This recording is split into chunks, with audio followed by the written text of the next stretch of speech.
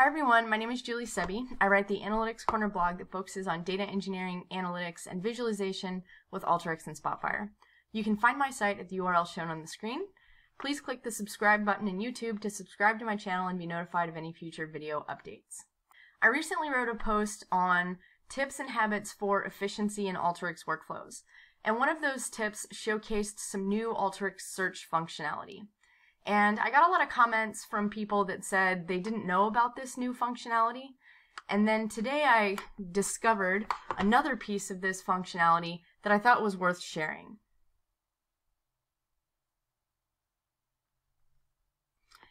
And what I'm going to show you today is something that was uh, present on the screen in the application for the entire time that I've used this version of Alteryx, and I just never noticed it. And I thought surely other people have maybe overlooked this really useful function as well.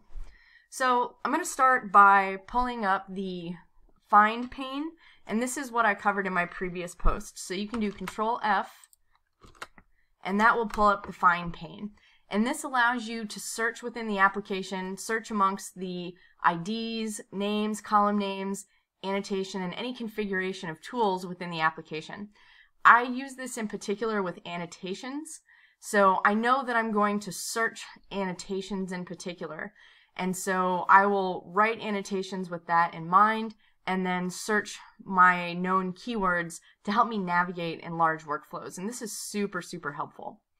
But what I hadn't noticed until fairly recently was that there is also a search pane within, or a search function within the results pane.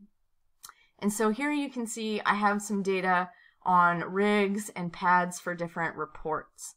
Maybe I've made some changes to tools and I want to see if the updates are correct for a particular pad.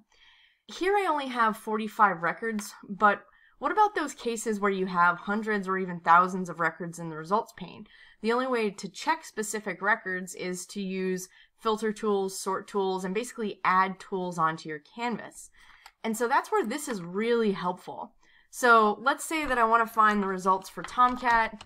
Just type that in there. I don't even have to specify the column that I'm searching. It's going to search all of the data. And that'll pull up all the data for the Tomcat Ursula pad. And I can't tell you how much time this saves me. So now I don't have to deal with extra tools. I don't have to go back and remove those tools later. This is super simple and yet so incredibly helpful.